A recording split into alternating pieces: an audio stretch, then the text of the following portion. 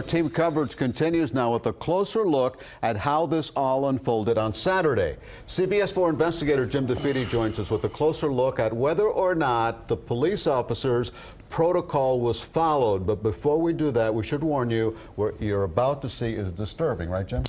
Elliot, it truly is a disturbing video, but we felt it was critical to understanding how things went. Now, we, what we found is that the Miami Beach police appear to have violated their own policies and procedures while confronting David Winnestett, resulting in him being shot and killed by what is commonly known as sympathetic gunfire. Now, let's get the big picture by seeing the video before we break it down.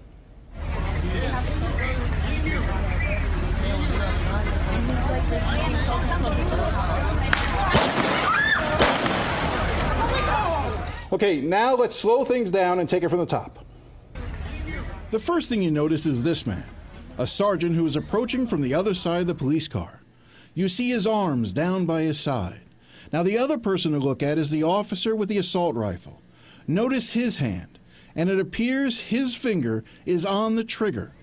The only time an officer's finger should be on the trigger is when they're shooting. Otherwise, their finger should be outside the trigger guard. Now, as we continue, you see the sergeant on the other side of the patrol car approach Winnestett when suddenly he raises his right arm and fires a taser, striking Winnestett in the chest.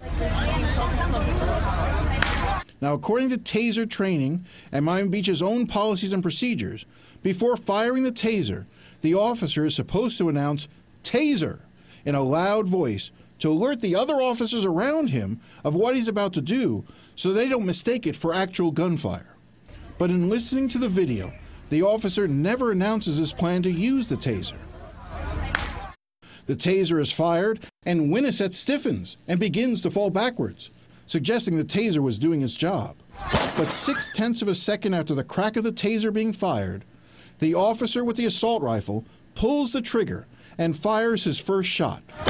Seven tenths of a second after that, as Winnestett continues to fall backwards, the officer fires a second round from the assault rifle, killing Winnestett.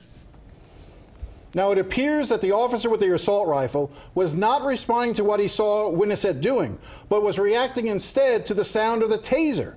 It is known as sympathetic gunfire or contagious gunfire, when an officer fires his weapon because he believes other officers are firing theirs. And Jim, you said that the officer who was on the other side of the police car who fired a taser uh, under police protocol was supposed to say taser.